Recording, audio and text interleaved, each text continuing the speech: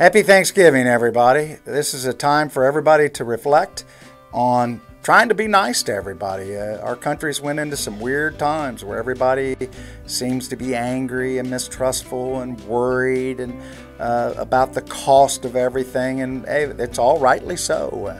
But listen, we get a chance to be with family and friends, celebrate just being together, being happy, having a good meal, watching some ball games, uh, taking a nap after you eat all that turkey. Hey, just keep in mind and keep in mind your first responders aren't aren't sleeping. They're not on a day off.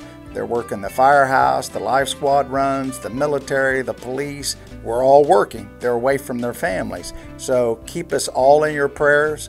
We keep all of you in our prayers and let's try to have fun. Now, what I look forward to at Thanksgiving is the turkey. I get all the dark meat because everybody else in my family they get the, the lighter color meat and they say that dark meat really has the most juice in it. But everybody, tell us what your favorite meal is at Thanksgiving and have some fun, man. And call somebody you haven't talked to in a while and wish them happy Thanksgiving. People that don't have family members and are lonely. Uh, it's a very lonely time. It gets dark at 5 or 5:30 p.m. Have a good Thanksgiving from your sheriff and my staff.